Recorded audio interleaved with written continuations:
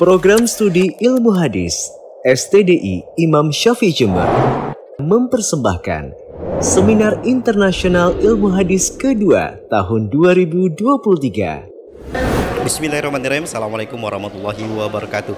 Rangkaian kegiatan dari Seminar Internasional ilmu hadis yang kedua yang diselenggarakan oleh STD Imam Syafi'i Jember Alhamdulillah masih terus berlangsung. Dan kali ini saya bersama dengan Ketua STD Imam Syafi'i Jember Alustad Dr. Muhammad Arifin Badri MA Hafizullah Ta'ala. Langsung saja kita akan wawancara beliau terkait tentang uh, histori dan seperti apa kegiatan-kegiatan seminar yang diselenggarakan di STDI Assalamualaikum Ustaz Waalaikumsalam warahmatullahi wabarakatuh. Barakallahu fiik. Uh, ingin meminta informasi terkait tentang histori uh, adanya acara seminar internasional yang saat ini sudah kedua saat ya. ya. Uh, berarti sebelumnya sudah ada yang pertama. Ya. Seperti apa saat ini? Ya, untuk seminar nasional dan internasional ini memang program rutin kampus STDI. Uh, sehingga kami mendorong program studi itu mengadakan acara semacam ini.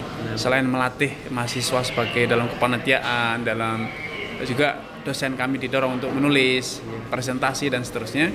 Ini juga sebagai bentuk dari komitmen STDI dalam berkontribusi eh, kepada negara kita dalam mengurai berbagai problematika. Di seminar internasional pertama mengurai tentang radikalisme. Yang kedua ini tentang stabilitas. Kita kenapa mengangkat stabilitas? Karena ini adalah tahun politik.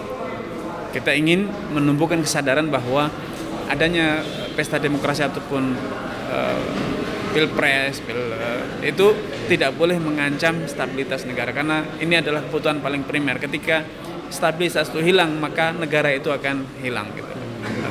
Kemudian set, uh, sejauh ini untuk menentukan tema uh, di setiap tahunnya, apakah ada uh, memang uh, pembahasan khusus di kampus? Ya, untuk tema ini memang selalu didiskusikan ya antara di di level program studi itu didiskusikan di tim mereka dan kemudian eh, endingnya nanti akan dibawa ke saya sebagai sebagai ketua untuk mendapatkan eh, masukan dan persetujuan sebagai ketua STDI gitu.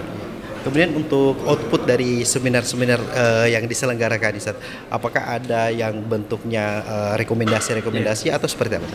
Dari panitia juga uh, sudah menyiapkan uh, draft rekomendasi yang itu akan menjadi bahan untuk disosialisasikan nanti e, dikirimkan ke berbagai instansi terkait dan juga dipublikasikan secara luas di berbagai media gitu.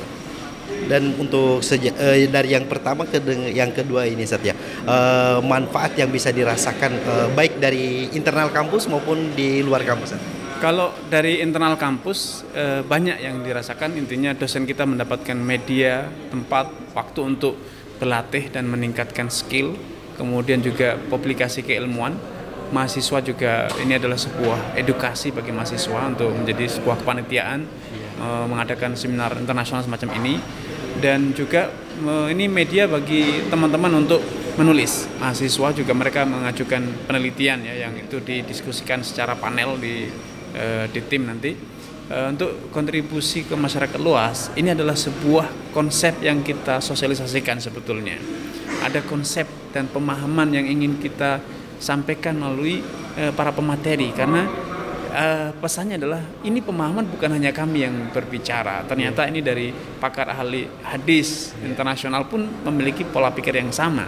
Tapi memberikan ruang dan mereka yang berbicara menyampaikan pesan-pesan itu. Dan pesan-pesan itu adalah sebetulnya pesan-pesan juga dari kami karena ada kesepakatan atau kesepahaman gitu. Terus kontribusinya lain lagi adalah untuk menyuguhkan untuk menjadi contoh bagi kita semua bahwa lembaga pendidikan apa pun itu sebetulnya punya ruang, punya kapasitas untuk bersuara, untuk menyuarakan idealismenya dia, ideologinya dia kepada masyarakat, kepada eh, stakeholder, pemerintah dan lain sebagainya tentang apa yang selama ini diajarkan. Itu tentu itu adalah masalah kita semuanya dan yang paling penting dari semua itu adalah kita mengedukasi mahasiswa kita itu yang paling penting tentang apa yang harus dilakukan dan apa yang harus mereka bangun dalam pola pikir mereka dalam perilaku mereka nanti ke depan sebagai calon pemimpin di masyarakat masa yang datang gitu. Kalau melihat uh, yang seminar tahap 1 dan 2 Inset masih didominasi oleh mahasiswa kita saat ya dari STDI. Apakah ke depan uh, akan membuka keran yang lebih luas kepada masyarakat hmm. Sebetulnya keran itu sudah dibuka sejak awal dan kontribusi dalam bentuk penelitian, pemateri, panelis itu sejak seminar pertama juga sudah ada dari dari kampus-kampus luar gitu. Yeah e, seperti yang sekarang ini juga pun demikian dari kampus negeri, kampus swasta pun ada yang mengirimkan penelitian-penelitian. Namun dari hampir 100 e, eh, artikel yang dikirimkan, yeah. yang lolos itu hanya sekitar 40-an artikel ya. Sehingga artinya ada seleksi yang cukup ketat di yeah. panitia gitu. Kalau ke pemerintah sendiri saat apakah ada kemungkinan kolaborasi atau mungkin membuat event yang lebih besar? Oh, sangat kami sangat welcome ya kalau memang kemudian apa namanya instansi pemerintah membuka ruang ataupun mengajak kami untuk berkontribusi dalam hal-hal yang semacam ini kami sangat welcome sekali tentunya. Barakallahu Baik Ustaz jazakumullah khair Ustaz. Semoga ke depan ada lagi seminar yang lebih amin, besar. Amin amin. Barakallahu dan kami mengucapkan jazakumullah khair. Yeah. RTDC sudah hadir mendukung meliput sehingga ini menjadi kepanjangan tangan kami untuk menyuarakan ya apa yang selama ini menjadi tema seminar. Barakallahu fiik. Barakallahu fiik Baik uh, pemirsa dan pendengar di mana pun Anda berada demikian wawancara kita dengan Ketua STD Imam Syafi'i Jember Al Ustaz Muhammad Dr. Rafi Badri hafizallahu taala. Barakallahu. Seminar ini insya Allah akan dilaksanakan pada hari Jumat sampai Sabtu tanggal 22 sampai 23 Syawal 1444 Hijriah bertempat di Hotel Davam Fortuna Jember. Penyiaran ini bekerja sama dengan RTVC dan disiarkan oleh lebih dari 40 media anggota.